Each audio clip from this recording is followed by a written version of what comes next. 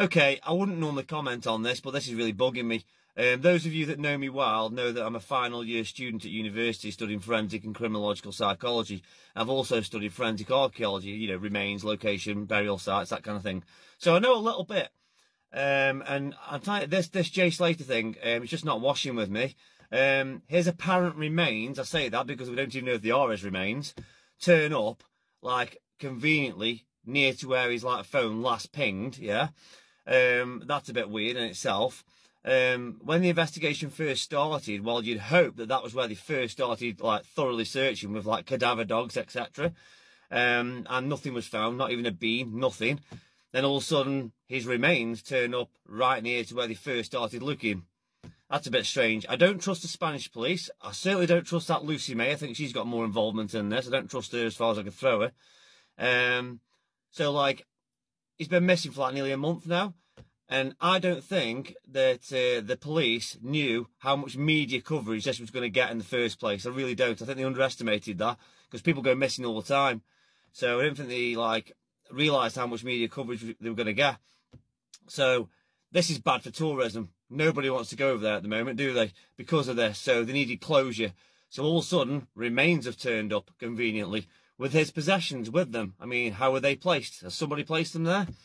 Um, I think these two British guys have had some kind of involvement in in like what's happened to Jay, um, and I think they basically paid the police off because like they were discounted from the investigation from day one, which is ridiculous considering their past. Um, they've given them a massive bribe because they've obviously got loads of loose cash lying around, haven't they? Um, they give them a massive bribe. The police have gone away, nothing to see here got all this media um, attention and pressure on the police. They thought, right, we need to close this off. It's like affecting the economy, tourism, everything. So we need to provide a body quickly. Um, it's been a month, so let's provide the body close to where it's convenient, where his phone pinged. You know, we'll go with the narrative that you know he got into difficulty, you know that kind of thing. I don't believe that for a second. And then let's all get on with our lives and forget it ever happened. I really hope when you know his loved ones, and like, obviously my heart goes out to his loved ones. They really do. Um, but I really hope um, that that they can do like a post mortem in this country. A to prove that actually it is his remains. I mean, come on, we've got the media speculation here to to to say that it's his remains. We don't know if it's his remains or not. Um, it could be anybody's, couldn't it? So let's prove through DNA it's his, it's his remains. And then um, aside from that, maybe cause of death. Anyone? Yeah. Um, so I hope there's a second post-mortem, uh, which might reveal more stuff. But I really don't trust trust these Spanish police at all.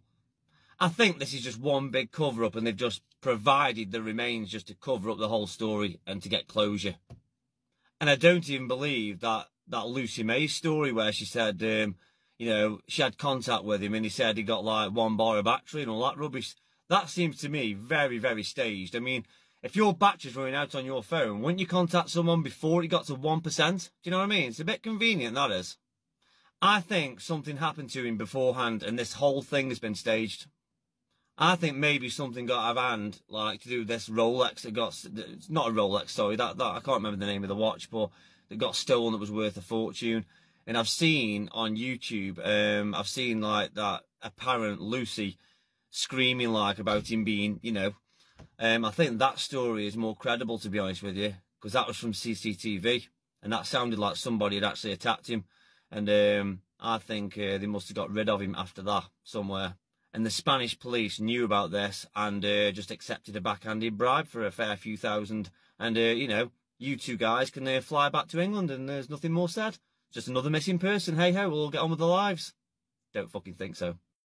Okay, so a lot of you have seen my previous video on what I think doesn't look quite right on the Jay Slater case and what my opinion was and what might have happened. Um, so I've looked at a lot of the comments and I've gone away and I've uh, thought about this and like in my academic brain I've tried to make sense of it all. Um, and I've watched some things on YouTube and obviously the news outlets have confirmed this and confirmed that. Um, so I'm going to tell you what my timeline of why I actually think has happened with Jay Slater because there are some things that haven't even been mentioned on any of the comments, on any of the YouTube clips, on any of the news outlets, have not even been mentioned. Well, I haven't seen them mentioned anyway.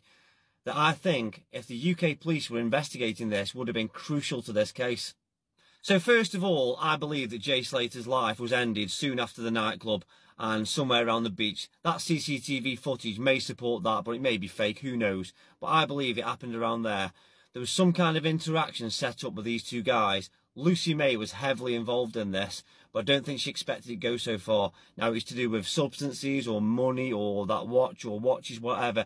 I'm not interested in the details on why they met, but something happened with that interaction that ended the life of Jay Slater. Now, I do believe that Jay Slater travelled for an hour up north, up into the hills, with these two guys to this B&B, but not as a passenger, as a body. This brings me on to my first point, something that hasn't been mentioned on any of my comments, and not that I've seen anyway, and on the YouTube videos out there or any news outlets. The very car that these two guys used to transport, in my opinion, Jay's body up north, up into the hills, an hour away conveniently. What is the timeline of when this was hired out? Did they hire this out for this journey? And also, why weren't forensics all over this car, impounding it on the very day? That would happen in the UK. Do you know what I mean? Check it for spatter marks. There's no point checking for DNA because obviously he was probably in the car, but I don't think he was like alive in the car. So they should check it for any type of like struggle or anything like that. You know what I mean? Get it checked. And then this Airbnb. When was this actually booked? We need to know this stuff. When was it booked? Was it booked on purpose so they've got a destination to like, you know, sort out the body and stop overnight while they're doing this? I mean, you know, this is basic investigation, come on. We literally have no proof that Jay was like coherent and alive at this Airbnb. That photograph, like, you know, with that in his hand coming out the stairs, that could have been anybody. We haven't had a selfie up there or anything like that. And we have Lucy Mae's word that she spoke to him, which I think's a load of rubbish.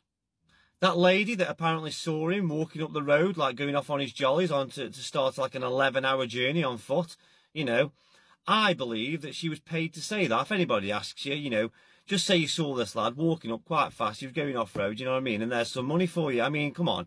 My mum would do that. My mum would do it for a fiver. Do you know what I mean? She's 75. My next point, which I don't think has been mentioned, that should have been a crucial part of the investigation, um, was Lucy Mae, her account. Now, she said that she had interaction with him, okay, and you know we all heard the interaction, yeah. So because she's not part of the investigation, there's no reason to impound her phone. That phone needs checking. The IT guys need to come in. If this was in the UK, that phone would be thoroughly checked.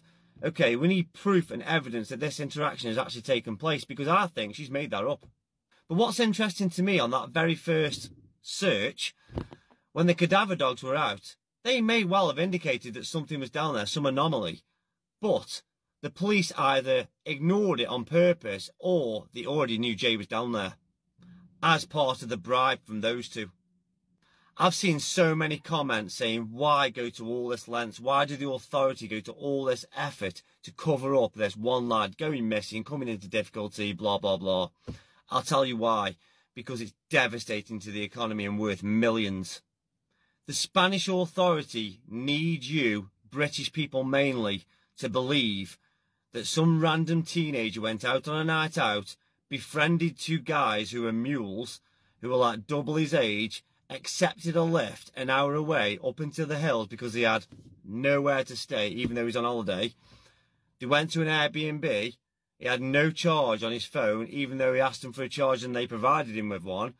He couldn't be bothered wait around till 10 o'clock for a buzz and decided to go the opposite way and walk back down to town, which is an 11 hour walk, and got into difficulty off the field. The Spanish authority needs you to believe that. They can't have you, potential future tourists who are going to spend your hard earned cash over there, to believe what may be the actual truth that Tenerife is controlled by gang related crimes, trafficking, substance, everything.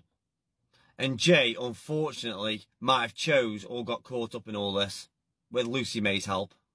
Guys, you've got to start thinking outside the box.